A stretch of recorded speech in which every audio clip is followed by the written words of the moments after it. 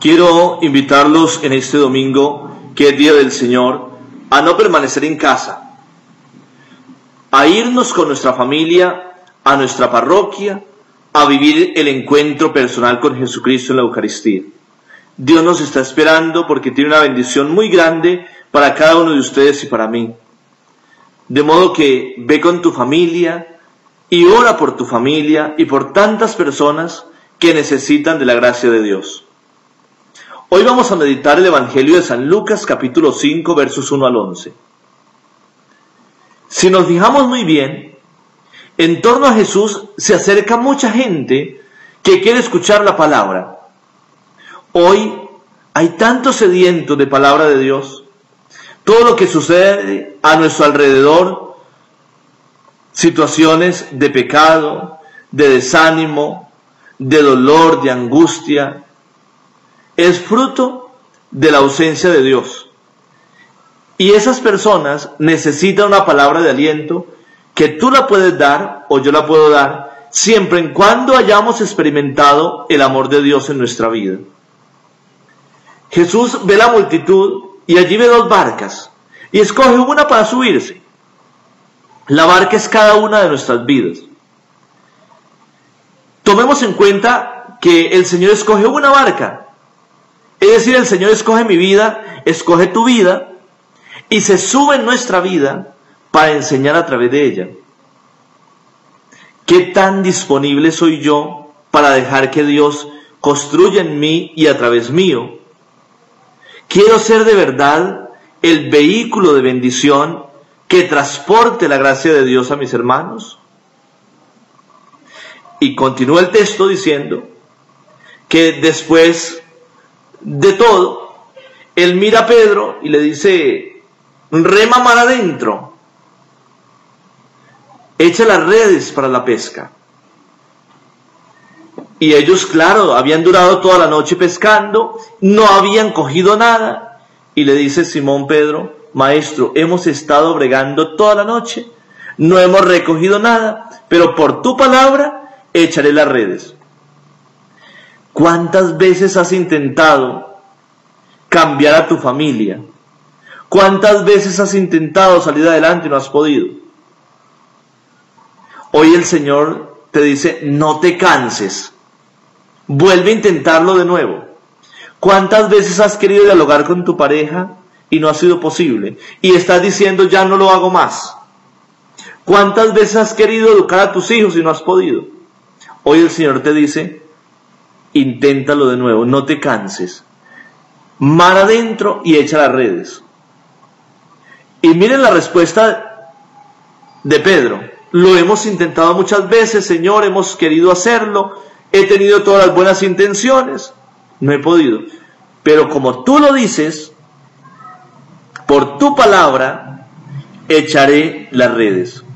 Es que no, no basta con recibir la palabra de Dios, no basta con meditarla. Si hoy tienes un problema y has intentado solución y no has podido, intenta de nuevo, pero vas a hacerlo porque crees en la palabra de Dios. Porque es Dios el que te lo ordena. Y cuando creemos en la palabra, dejamos que Dios actúe. No es nuestra fuerza, no son nuestras palabras, es Dios que actúa en nosotros. Mis hermanos, ellos lanzan las redes y cogen tanto pescado que casi que su barca se hunde. Porque el Señor nos sorprende con la bendición. Y es una bendición que Dios tiene para ti hoy y que será tan abundante que tendrás que llamar a otra barca, es decir, a otro hermano, para compartir la bendición que Dios te da. Esa bendición abundante no te la pierdas. No te quedes en casa, lo repito. El Señor te va a bendecir con una pesca exageradamente grande que alcanza para ti y puede repartir para los demás. Hoy el Señor, cuando nos dice, lancen las redes, nos está diciendo, cada uno de nosotros tiene una misión. Y si vamos a la primera lectura del profeta Isaías, allá en el capítulo 6, versos 1 al 8, Isaías dice, pero yo de labios impuros, ¿qué puedo hacer? Miren mis hermanos, cada uno de ustedes y yo tenemos un pasado y a veces un pasado que nos avergüenza. Hemos caído muchas veces. nos hemos equivocado, pero Dios nos ha levantado. Y aquel que experimenta la misericordia de Dios y que más ha sido perdonado, es el que más ama. Yo decía hace poco una reflexión que a mí me encanta una iglesia de pecadores que han experimentado el barro y Dios los ha levantado y han sentido la misericordia de Dios. Pero le tengo miedo a una iglesia formada por santurrones que dicen no haber sentido el pecado, que dicen no haber caído, porque son extremadamente duros con sus hermanos. Cuando yo he sentido la misericordia de Dios, soy misericordioso. Mire, ni ustedes ni yo somos santos, pero Dios nos llama, porque es Dios el que nos purifica. El Señor toca los labios de Isaías y dice, ahora puedes hacerlo. Y Isaías dice, envíame a mí. ¿Cuántas cosas en tu casa puedes cambiar tú?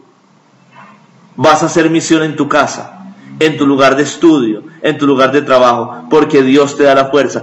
Es la palabra de Dios y no tu palabra es la fuerza de Dios y no tu fuerza. Tú solamente disponte, pon tu barca al servicio del Señor para que el Señor actúe en cada uno de nosotros. Mis hermanos, hoy es un día de gloria y de bendición. Este día domingo, que sea un día para abrir totalmente el corazón a Dios, para dejarnos amar por Él, que ese amor nos impulsa a ir a encontrar a Dios en la persona de los hermanos. Señor Jesús, vacíame de mí Lléname de ti y mí un don para ti y para mis hermanos. Feliz día para todos, que el Señor y la Santísima Virgen María nos bendiga en el nombre del Padre, del Hijo y del Espíritu Santo. Amén. Unidos siempre en la oración.